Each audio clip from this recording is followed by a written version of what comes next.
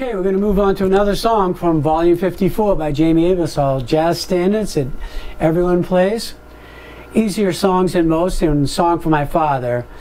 And so again, we're going to plug in some melodies, and this time we're going to going to change things up. We're going to use a, a line by Beethoven, Für Elise for the minor chord, then te Tequila, and then a little blues line ending with a jazz song called Work, Work Song. And then in the second eight, we're going to use a melody called Alfie by Sonny Rollins, followed by a pop line called Mustang Sally. And then the blues line again into Moanin', a famous jazz tune. And on the bridge, we're going to use Day Tripper. And to the very famous Moves Like Jagger, minor pentatonic line, which is a subject for another day. And uh, so we're going to use those lines to capture the sound of each of these chords and to, uh, you know, be secure in the harmonic rhythm, which simply means how long the chord lasts. And then Caleb is going to improvise after going through these melodies, okay, that imply what the chord is. It's a simple thing. So ready, one, two, one, two, three, four.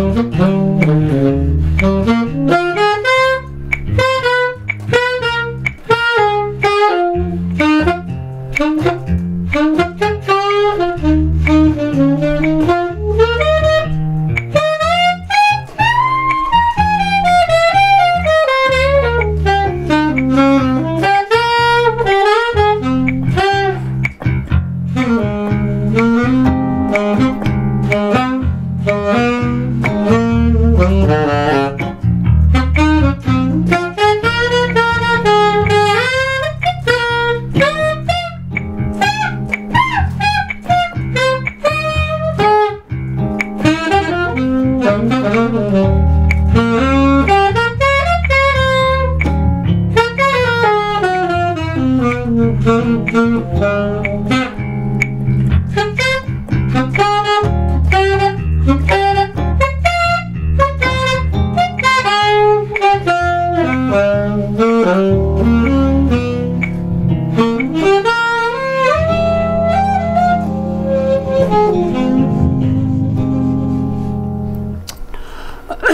so that's Song for My Father.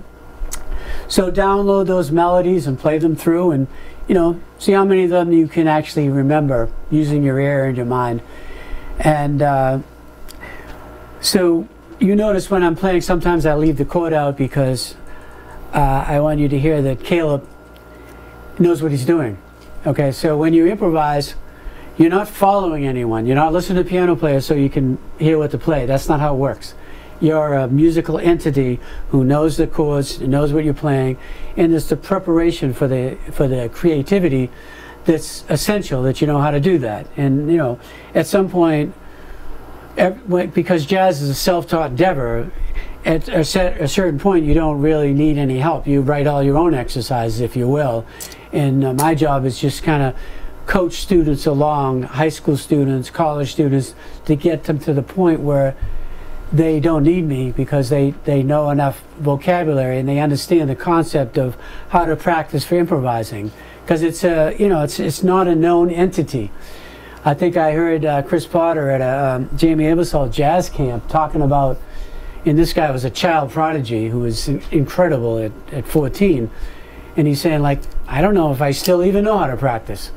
In other words, he really couldn't tell anyone do this exercise, do that exercise because his skill level is just so so high that it's just it's he can't relate to probably anyone of us who are normal.